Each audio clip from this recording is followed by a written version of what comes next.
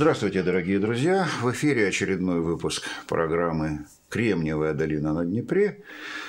Э, я ее ведущий Андрей Дмитрук, а программа эта является второй частью, или, если угодно, продолжением нашей предыдущей программы, которую мы записали э, с кандидатом исторических наук Евгением Леонардовичем Гороховским, моим дорогим гостем, тогдашним и сегодняшним. И посвящена она отражению в искусстве, прежде всего в киноискусстве, такой неотъемлемой части прогресса, как космические полеты. Итак, Евгений Леонардович, в прошлый раз мы с вами остановились, помнится, на фильме «Космический рейс», который консультировал еще живой тогда Константин Эдуардович Циолковский. Давайте двигаться дальше. Как дальше отражались космические полеты на экране? Ну, э, можно немножко чуть-чуть напомнить э, то, о чем мы э, поговорили, то, о чем мы поговорили в прошлый раз. Начали мы с самого первого научно-фантастического фильма в истории кинематографа. Это знаменитый фильм Жоржа Мельеса «Полет на Луну». А вот. Но можно еще вспомнить, помимо того, о чем мы говорили в прошлый раз, очень любопытный датский фильм, который назывался «Путешествие на Марс». Mm. Он был снят в 1918 году. Это такой прототип элиты так. своего рода. Там, значит, герои на винтовом космическом корабле да, винтовой самолет. С пропеллерами? С пропеллерами, да, совершенно ага. верно. «Эксельсиор» назывался этот корабль. Все выше. Да, они, значит, достигли Марса. На Марсе было замечательное такое практически коммунистическое общество вегетарианцев, где забыли про конфликты, где забыли про, про классовую борьбу, там, про и так далее. Но фильм не мой, я так понимаю. Фильм не мой, да, совершенно да. верно. Фильм 18 -го угу. года. Очень, очень хороший фильм. Вот такой вот такая такая вот утопия, значит, и э, марсиане были в ужасе от того, какое безобразие творится на Земле, что, что война еще шла, еще Первая мировая война как раз заканчивалась, вот, и все это было свежо, так сказать, в сознании э, авторов, вот, на Марсе это идеальное общество, но в той или иной степени это произведение предвосхищало сюжеты элиты, есть допущение, что, может быть, Алексей Толстой видел. То есть была любовь на Марсе? Э, да-да-да, там есть любовь. Прекрасная марсианка присутствовала. Любовь прекрасной да? марсианки, угу. да, значит, к земному человеку, инженеру, который там прилетел на этом корабле. Вот. Э, ну и, как бы, так сказать, все это дело через Аэлиту, о которой мы поговорили, и через, так сказать, женщину на Луне Фрица Ланга. Угу. Вот. Это практически первый фильм, который имел э, профессионального технического консультанта немецкого ракетчика Германа Оберта. Вот. Э, так сказать, первостроителя немецких ракет учителя Вернера фон Брауна. Mm-hmm. Сам фон Браун там на съемках в 29 году, 70-летнем, кажется, возрасте, работал подсобным рабочим в павильоне. Вот. И уже, так сказать, новый этап, э, уже, так сказать, это еще был не мой фильм, но озвученный музыкой в 1935 году был снят фильм «Космический рейс», который консультировал... Это советский? Советский, mm. советский фильм режиссера Журавлева. А вот, консультантом которого был сам Константин Эдуардович Солковский. Это была, кстати, последняя его работа такая профессиональная. Он вскоре, по-моему, покинул он, все мир, да? Да, он не, он не дожил, чуть-чуть не дожил до премьеры mm-hmm. этого фильма. Вот, фильм по тем временам был абсолютно уникальный. Для его съемок были э, созданы довольно масштабные декорации Луны. Э, значит, э, художником этого фильма, художником-постановщиком этого фильма, макетчиком, спецэффектами занимался занимался великий мастер Юрий Швец, который в то же время параллельно работал над знаменитым фильмом э, Александра Лукича Птушко эм, э, «Новый Гулливер». О, делал этих кукол. Блестящий фильм. Полторы да. тысячи кукол. Кстати, насколько я помню, один из первых в мире фильмов, где на экране одновременно работают куклы и живые актеры. Совершенно верно. Чуть ли не первый. Совершенно верно. Да. И э, более того, вот в самом космическом рейсе он уже сделал то, что потом Птушко довел до совершенства в «Золотом ключике», когда одни и те же герои в кадре появлялись герои то куклы, то люди, то куклы, да. то люди, и там не поймешь, где Буратино кукла, а где да, Буратино да. человек. Вот, и там Мальвина и так Великолепный далее. фильм вот. тоже, да. это, э, Швец это сделал все на Луне, потому что там герои и люди действуют, и куклы, которые там прыгают по лунным ну кочкам, ну, да. там, по этим э, кратерам и циркам. Вот. Для э, вот этого вот, так сказать, э, ну, там два ракетоплана. Э, Циолковский создал около 20 или 30 чертежей ракетопланов, по которым были построены сам модели. чертежи? Сам, сам, сам, сам. Ну, это дел... старичок. Сам делал, да. да. Вот, по ним, значит, было построено макеты двух ракетопланов, ну, в определенном масштабе, но ангар, для ангара пришлось, э, ангар строился на площади 18 на 10 метров, или на 12, довольно приличного, приличной величины. Ну, как наша студия. Да-да-да, совершенно верно. Mm. Вот, и все это делалось, и все это на экране выглядит очень масштабно э, вот э, два ракетоплана. Э, первый, который полетел, э, Иосиф Сталин.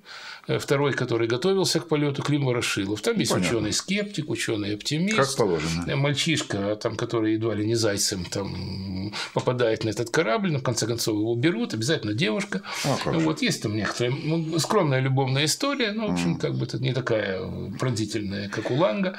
А вот, ну и... Э... Что ж следующее было? Да, так Какая вот, э, так вот, этот самый космический рейс, он оказался источником заимствования ага.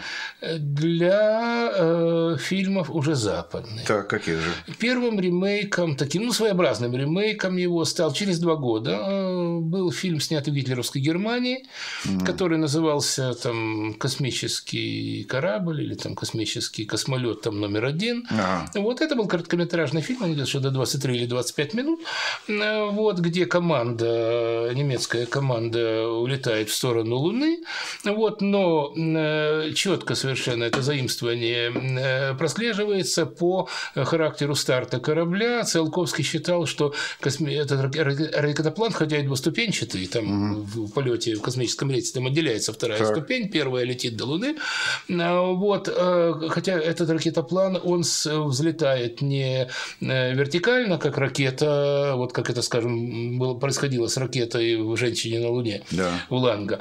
А он стартовал э, с наклонной эстакады ага. направляющих, предвосхищая, в общем-то, конструкцию «Катюш» э, гвардейских минометов. Угу. Вот, на, на, по, по, по, наклон, по, наклон, да, да. По, по наклонным рейсам. По направляющим, да. да. Э, то же самое мы видим в этом немецком фильме. Понятно. Абсолютно такой, таким же образом. И... Ну, «Катюши» все таки построили впервые мы, а, конечно. а не немцы. Ну, конечно. Несмотря да, на да. это. Да. да, у них было немцы другое, у них были вот эти шестиствольные минометы, они предвосхищали уже следующее поколение этих вот э, систем залпового огня из э, стволов, из труб. Ну, не о том летали, да, ну, неважно. Да, вернемся к ракетам. Да, вот, так вот, э, и следующим таким уже, так сказать, своего рода такой маленькой энциклопедией всяческих вторичных заимствований был такой довольно дешевый американский фильм, который назывался «Ракетный корабль XM». Дешевый в смысле затрат или Дешев... в смысле своего эффекта? Дешевый затрат, а. дешевых затрат. Э, современные рецензенты его называют, так сказать, веселым Г. А. вот, сравнивая с унылым Г, одновременно снятым крупнобюджетным фильмом о полете на Луну. А и такое был. И такое был, да, и такое был. Отдавая предпочтение, между прочим... Все-таки веселому. Да, вес... да, да, веселое Г стоило 50 раз дешевле, чем, чем э, значит, унылое. Но там повторялась и «Женщина на Луне», вот в сценах там с перегрузками, невесомостью, и космический рейс, тире вот этот космический корабль э, немецкий, где с эстакады взлетал этот самый э, американский ракетоплан. Что же не все следовали так в одном курсе, в одном коридоре, а, ни вправо, ни влево? А очень просто. Дело в том, Кто-то что... задал эти условия, да, да, да, да, кто-то да. придумал эти образы, и все их повторяют. А ничего не надо было придумывать. Дело в том, что вообще американские, американская кино фантастика, она изначально была вторичной mm. по отношению к европейской, изначально. При, при этом это, это совершенно объяснимо, потому что, в общем-то, э, вплоть до конца 60-х годов в американском кинематографе основная масса фантастических фильмов, в том числе и космическая фантастика, не, не говоря уже там о всяких там вампирских и да, прочих, да, там, и прочих сагах, вот, это было малобюджетно. Это были mm-hmm. фильмы класса «Б», э, фильмы, на которые, которые большого бюджета не имели. И только, ну, были, конечно, исключения, типа вот это вот путешествие на Луну 50-го года, в который вбахали 5 миллионов, и который получил Оскар за спецэффекты. Ну, в общем-то, как особого, так сказать, места в, в искусстве и даже вот в истории жанра он не оставил. А через, вот, через год, в 1951 году, появился полет на Марс. Э, Чей? Это, э, тоже американский. Американский? Американский. Mm. Это, уже, это, это уже, как говорится, был полный абзац, потому mm. что э, фильм этот был снят чуть ли не за пять дней. Так. максимум за 10, в декорациях и с костюмами, заимствованные из обоих предыдущих фильмов. Вот, но там был заимствован сюжет элиты. Вот так. Там героиню зовут Алита, она принцесса Марса. Боже, бегает, так, так откровенно. Да, да, бегает, правда, в мини-юбке. А, вот, ну, в общем, там все такое. В отличие такое, от Юлии да, Солнцевой. Да, да, в общем, полный балаган. Да. Полный балаган. И такая, такая ситуация в американском кино продолжалась вплоть до конца 60-х годов. И то, что там произошло, тот революционный скачок, который был обозначен э, первоначально «Космической Одиссеей» 2001 года. Помню такое. Э, Стэнли Кубрика. По роману Артура, Артура Кларка. Это был не роман помню. первоначально, нет, нет, нет, нет. Это был первоначально, это был оригинальный сценарий. Все-таки, да? Да. Mm. Дело в том, что там, э, ну, об этом немножко поговорим да, чуть да, попозже. Да. А, вот, но прежде чем это стало возможным, и прежде чем стал возможен феномен Звездных войн, угу. который окончательно утвердил в Голливуде, в большом голливудском кино жанр фантастики как э, возможный для крупнобюджетных, дорогостоящих, могущих принести фантастические прибыли э, фильмов. А то есть, извините, они изначально немножко не доверяли этому жанру, да? Они не считали его коммерчески выгодным? Ну да, да, да, это как бы это, это не считалось тем. Почему большие студии за это не брались? Ну Э, дело в том, что то время, когда стало более-менее так как-то поточно, конвейерно сниматься фантастика, э, тогда это был, это был пик борьбы э, кино и телевидения. Ах, вот как. Да. Это было, это было время, когда вот... Это где-то середина 50-х? Это конца 40-х даже. Конца даже. С самого начала. А, Конец 40-х, начало 50-х годов. Mm. Начало 50-х годов, когда значит, такими вот стали пробоваться технические возможности для того, чтобы показать зрителю то, э, что он не увидит по телевизору, еще ага. черно-белому. Это стереокино, ну да. Это широкоэкранное кино. В конце концов, есть... это цвет.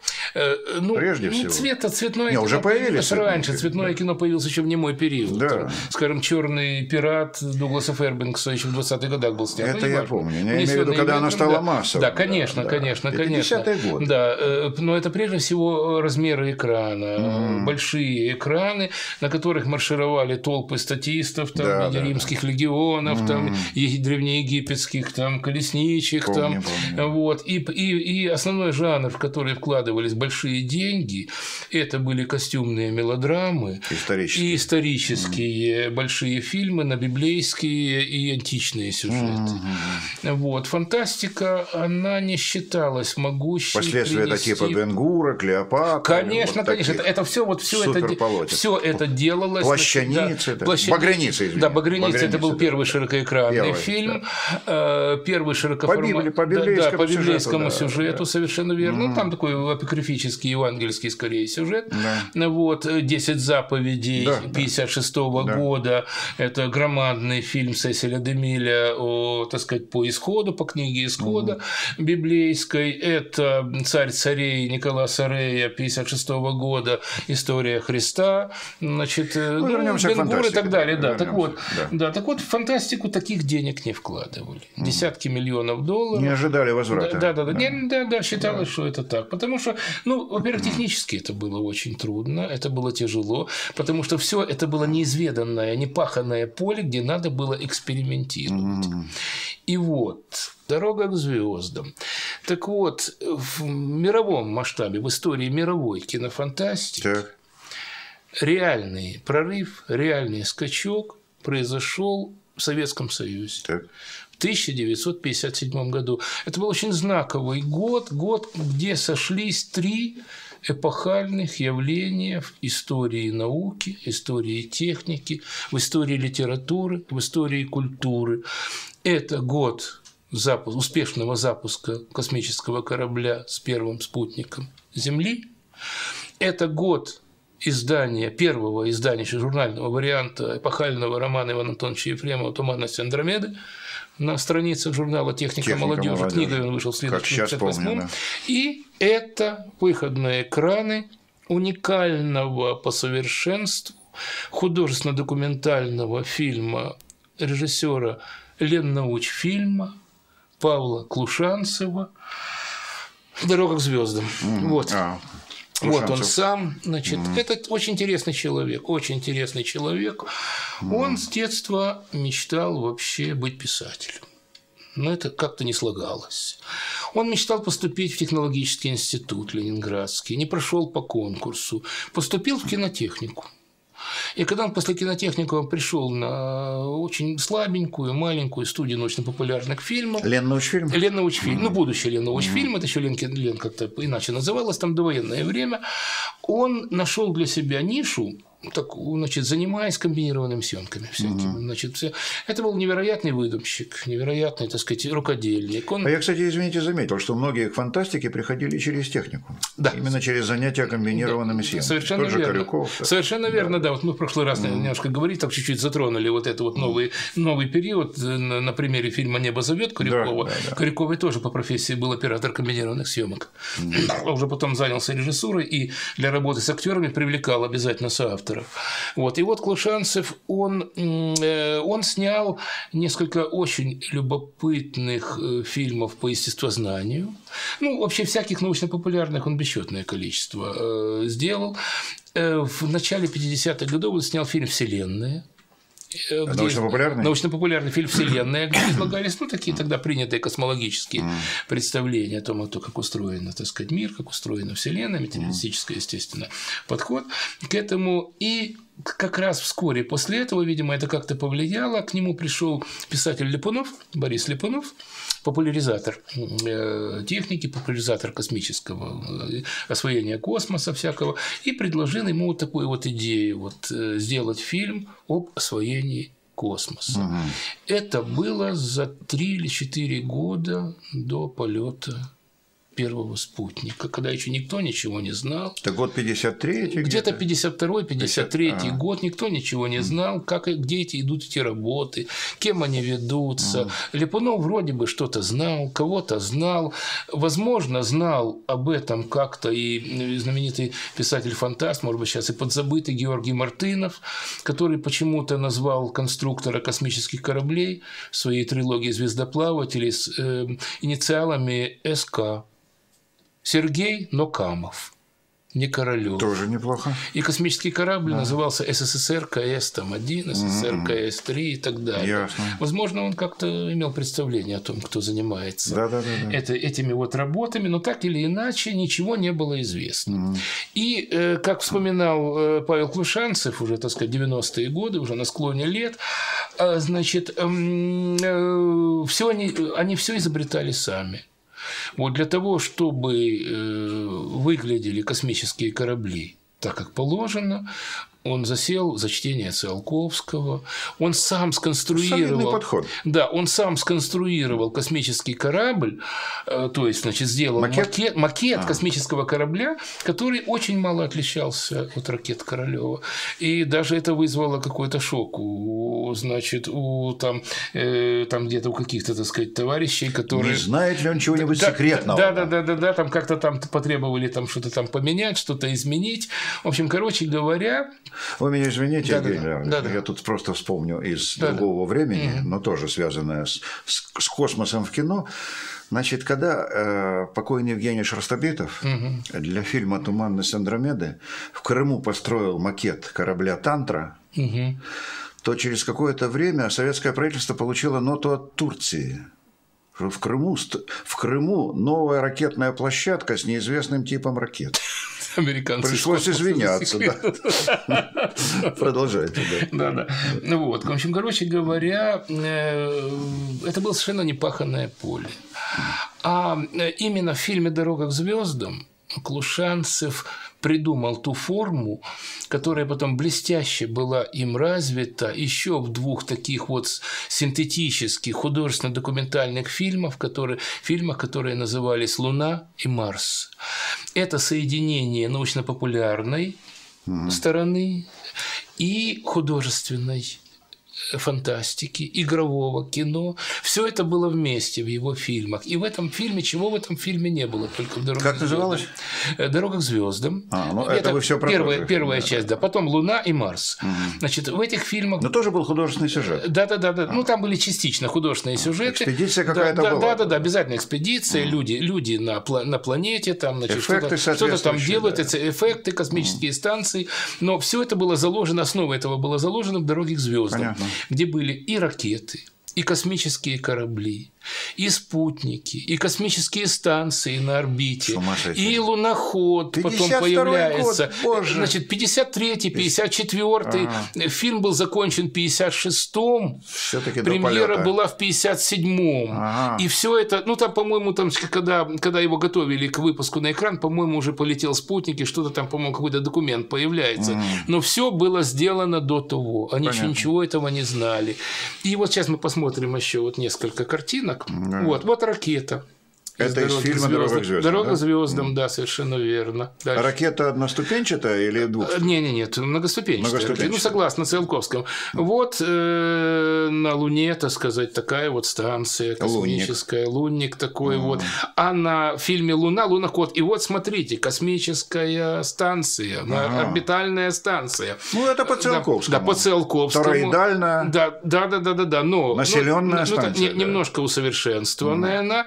И вот след следующую, пожалуйста, картинку. А, а вот это космическая Одиссея 2000 года. Ага, это то есть уже да. совсем из другого времени? Это Кубрик. Это через 10 лет через после. 10 лет. Через 12 лет после э, значит, космической. Ну, ну, единственное, что он сделал, просто удвоил то колесо. Да. По сути. Вот, он сделал. А принцип тот да, же, да? Он сделал двухколесную да, эту да. станцию. Вот так вот. А, дальше, пожалуйста. И вот, значит. Эм, э, Ой, любил я этот фильм когда-то. Да. Вот планета будет. Пускай мы немножко вот постоит эта картинка. Да, да, да, да. Так вот. Э, «Дорога к звездам» вышла на экраны на пике э, всемирного, всемирной сенсации с запуском, полетом первого спутника Земли, потом второго, потом третьего. Успели к обеду. А, фильм не сходил с экрана 40 недель. Ничего себе. Да, премьера была, э, триумфальная премьера в кинотеатре «Титан» в Москве, в Питере. Этот фильм просмотрели десятки миллионов человек. Он был куплен во всех крупных странах мира. Он был куплен вот в Америке. Он советский блокбастер. Да, да, да, да, да. Это, это фильм, снятый на немощной, самой слабой и слабо оснащенной студии Союза. На, этом на будущем Лен... На Леннаучфильм. Ну, это уже был Леннаучфильм, ну, да. тогда, по-моему, назывался, или Ленинградская студия научно-популярных фильмов. Вот, сделанный на энтузиазме, сделанный на э, детских конструкторах, на палочках, веревочках, вот, ну, вот они наши левши. Да, да. вот, вот, Левша вот, вот, да, да, да, да, да. То есть это, это гении были. Да. Но э, Клушанцев бы не, не, может быть, не сделал бы такую картину, если бы у него не было великого помощника, художника этой картины и следующих его фильмов был Михаил Цыбасов, ученик великого Филонова. Mm. Вот, один из лучших, э, вообще, mm. так сказать, художников, которые когда бы то ни было работали в нашем кино. И вот на гребне успеха э, «Дороги к звездам» Клушанцев пробил проект художественного фильма, целиком художественного фильма по известному к тому времени популярному роману Александра Казанцева «Планета бурь». Да, о Венере. Да, э, там напридумывали такого, что, в общем-то, это, это, конечно, так сказать, ну, как бы... Я прошу прощения, мы обожали этот фильм, потому что впервые на экране появились динозавры. Да. Там же по Венере ходят динозавры. И динозавры ходят. Совмещение живых актеров с куклами. Да, де... да. летают птеродактили, летают ходят динозавры. Э... Гигантский паук. Хищный да. цветок, да, который да, там да. хочет пожрать там какого-то космонавта. Угу. Загадочная венерянка. Видно только отражение да, в озере. Да, да, да, да. да. Она Летаю... так не появляется. Летающий везде вездеход, да. робот, робот, робот Джон, который несет на себе вот этих вот космонавтов, вот это вот постер. Это, Кстати, по-моему, его играл актер э, робота, если там, я не ошибаюсь, как в Звездных там, войнах. Там где-то и актер был, и, и кукла, и кукла да. была. Там в каких-то это, моментах да, в скафандре да, был. Да, да, безусловно, да, я помню, когда рассказывали в кинопанораме. В оболочке робота. Фильме, да. да, был такой, то ли борец он был, то ли, да, да. то ли штангист, какой-то очень сильный человек, потому mm. что довольно тяжелый костюм был. Да. да, дальше, пожалуйста, вот э, следующий. Вот, это уже современный постер. Вот птеродактиль. Mm. Вот, вот замечательные исполнители Емельянов, Георгий Жонов, mm. Саранцев, Тейх. Тейх, да. Тейх. Там он играл, да, он играл э, американского профессора, да. Профессора, да. Там... Создателя робота, да, кстати, да, да, совершенно mm. верно. Робот Джон, там они с ним mm. так дружили. Вот птеродактиль там mm. летает. Это уже современный постер. Дальше, пожалуйста. Mm. Вот как выглядели космические корабли. Там три корабля э, – Сириус, Вега и Капелла. Вот Вега, Капелла гибнет в столкновении с э, астероидом или метеоритом. Э, Вега остается на орбите, а Сириус садится на Венеру. Mm. Вот. И, значит, на орбите Веги остается женщина, космонавт. Mm. Ее играла чудная актриса, красавица Кюна Игнатова. Вот. И когда премьера фильма была достаточно успешной, вот еще посмотрим немножко картинки картинки. Ух ты, вот. это уже на Венере, На да? Венере, да, вот космонавты на Венере, Емельянов, Саранцев и Тейх, рядом с ними вездеход, причем он, это идея... Летучий вездеход? И, да, идея, на воздушной идея подушке. воздушной подушки там да, была, да. а тогда еще... Впервые. Да-да-да, тогда, тогда об этом никто не говорил и не знал, и подводных крыльев еще не было. Конечно. Вот, э, дальше, пожалуйста. А, и вот, вот это вот крупным планом Емельянов и Жонов, и вот, видите, рядом... То есть, извините, Евгений э, да. Леонидович, это были фильмы с огромным элементом прогностики, футурологии, да? То есть, всё... предсказание будущего Там... было невероятно точным. Все на свете, да, все на свете. Понятно. Значит, это были, это были фильмы прозрения. Прозрение, да. Это... А почему? Потому что их делали страшно талантливые люди, с невероятной фантазией, с исключительной mm. выдумкой, опиравшиеся, между прочим, на солидную, научную, исследовательскую даже базу. Потому что к тому времени уже значит, mm. планета Бурь делалась год полета Гагарина. Ну, понятно. 61 да, год. Да, 61 mm. В 61 году она делалась, в 62 была премьера. Вот, успех был очень большой, критика его разругала. Помню. Разругала крепко. В «Комсомольской правде» были статьи. Да, зритель балдел, миллионы зрителей просмотрели Ну, мы обожали, мальчишки, школьники, да, мы обожали Да, я помню, фильм, мы, я бегал... Десять раз бегали да, в кинотеатр да, «Спутник», его да, смотрели. Да, бегали, да. бегали в кино ни, ни, ни, ни раза, ни два, ни... Я, я его раз, раз 3, 4, 5, ну. не меньше смотрел. Значит, этот фильм в целом понравился министру культуры Фурцевой, mm. но ее, у нее вызвало, значит, э, так сказать, как бы, ну, единственное, что ей не понравилось, она разругала эпизод, где плачет героиня. А, Советская космонавтка не может Не может плакать, плакать да, понятно. Вот, Екатерина Андреевна, она, в общем, была человеком неординарным, наверное, была лучший министр культуры в истории, так сказать, в общем-то, э, всех, так сказать, вот деятелей, которые которые были на этом посту. Вплоть до наших дней. Вплоть до наших... Я этого не говорю. Совершенно верно, ну, да, да, вплоть до наших дней, mm-hmm. да. Вот. И именно министром культуры, а не культурки. И не без культуры. И не без культуры, да.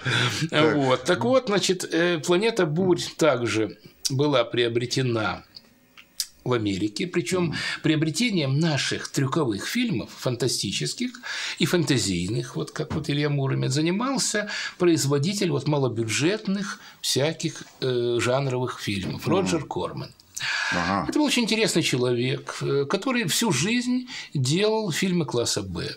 Э, фантастические, ужастики, какие-то там, значит, другие жанровые вещи.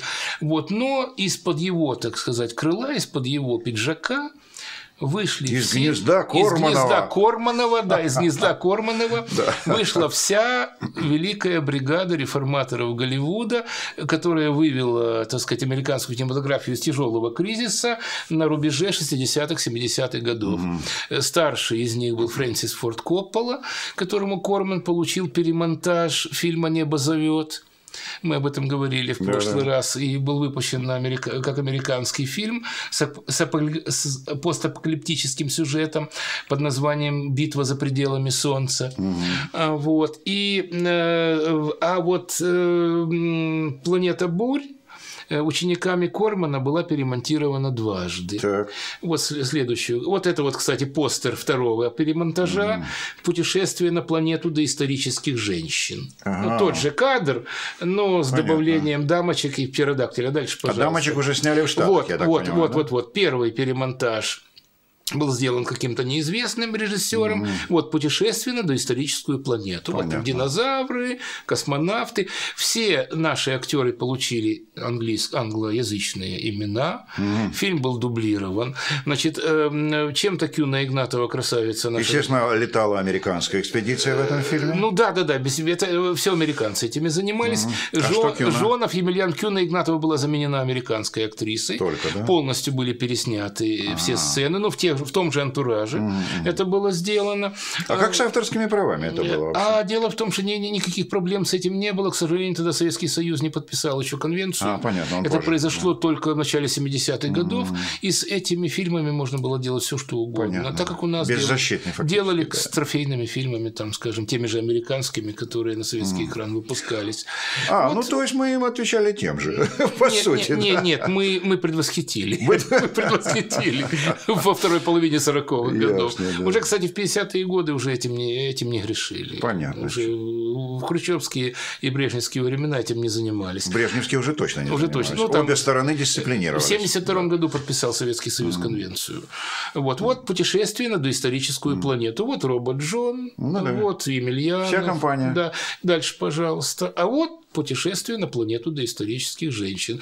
Э, перемонтажом для этого варианта занимался вот пятый или шестой там великий представитель этой же когорты наряду с Копполой, Лукасом, Спилбергом, Скорсезе, Питер Богданович.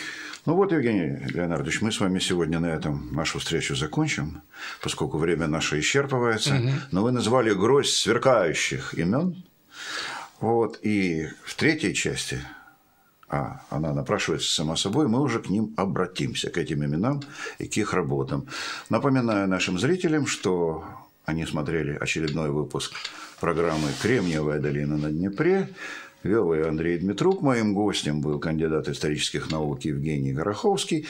Программа была посвящена, как и предыдущая, волнующей теме космических полетов – ее отражение на киноэкране, а к самым невероятным и фантастическим воистину достижениям в этой области, включая эпос, Илиаду 20 века «Звездные войны», мы обратимся в нашей следующей программе. Всего вам доброго.